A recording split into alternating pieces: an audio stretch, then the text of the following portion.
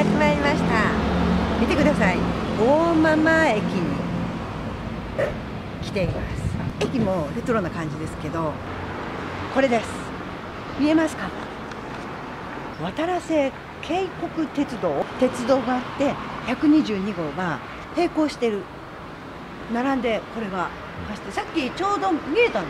一車両だけ走っててなんだこれ？と思って。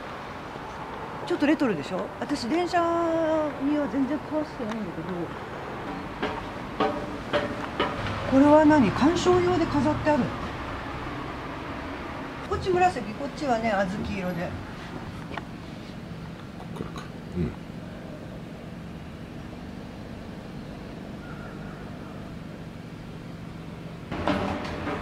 電車好きの人だったらね。あっちはあっち側から駅になってるんだよね。これ飾り物？水沼温泉行きって書いてあるね。ねえ。こうやって飾って置いてあるんだね。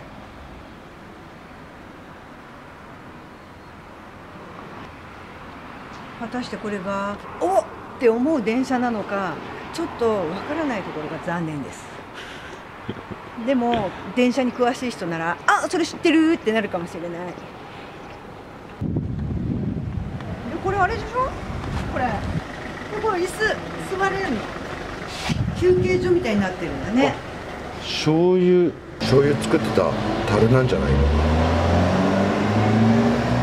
醤油がつく場合もありますね。ね。十分注意して。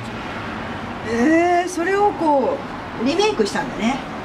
あの県大間々駅に電車あるしお立ち寄りください。じゃあね。バイ。